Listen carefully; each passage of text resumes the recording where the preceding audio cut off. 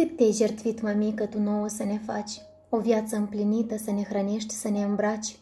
Cu trei fete, mamă, tare bogată ești, de nimic nu ți-e teamă, tu cu noi înflorești. Mereu economiseai, nu-ți cumpărai nimica, tu pentru noi strângeai să avem pentru pâinică. Ne-ai dat absolut tot, de ce aveam nevoie. De unde puterea ai scos ca să ne dai tot nouă? Des pe noi te superi că nu te ascultăm. Îți dăruim un zâmbet și repede ne împăcăm. Ne-ați crescut cum ați putut, greu ne era pe atunci, dar niciodată nu am flămânzit, voi ați muncit chiar și aici. Nu ați plecat peste hotare cum o făceau mai toți. Ați fost lângă fiicele care v-au motivat în tot.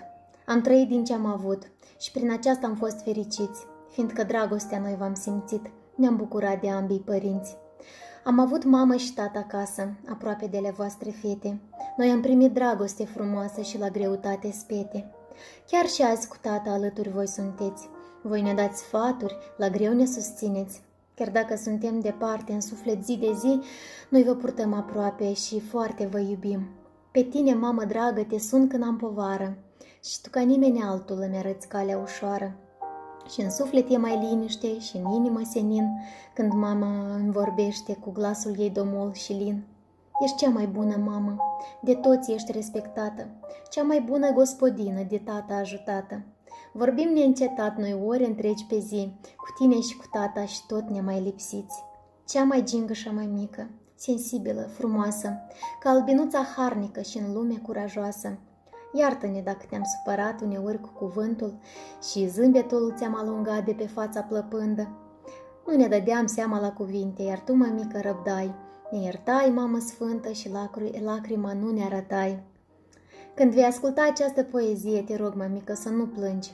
Vrem să te mulțumim pe tine că în viața noastră existi. Chiar dacă ești puternică, dar sufletul atât de firav e, îți mulțumim pentru răbdare, pentru curajul pe toate trei ca să ne crești. Pentru că atât ne-ai apărat când meritam pedeapsa. Niciodată nu ne-ai pedepsit, ne trimiteai la tata. La mulți ani, mămică, bună, sănătoasă să ne fii. Ginerii tot te salută, te iubim enorm, să știi. La mulți ani, doamna Oxana!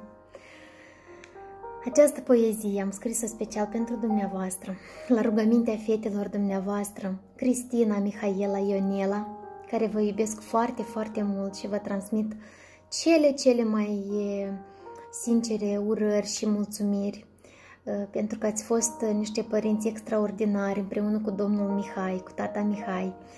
Ați fost niște părinți care ați oferit toată dragostea acestor fete.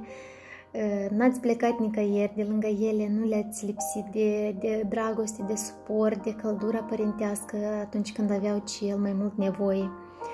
Bravo că ați avut putere să găsiți soluții chiar și aici acasă, să, să munciți, să aveți ce pune pe, pe masă.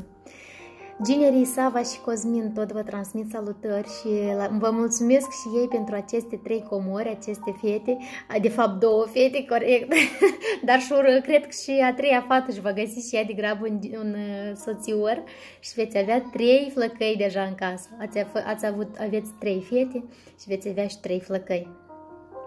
Ce să vă mai spun, la mulți ani și din partea mea vă doresc multă sănătate, aveți grijă de, de, de soțul dumneavoastră că ați rămas lângă el doar și cu el și vă doresc iubire, să păstrați iubirea între voi în orice circunstanțe și bravo că sunteți așa o doamnă cu litera mare. La mulți ani, doamna Oxana!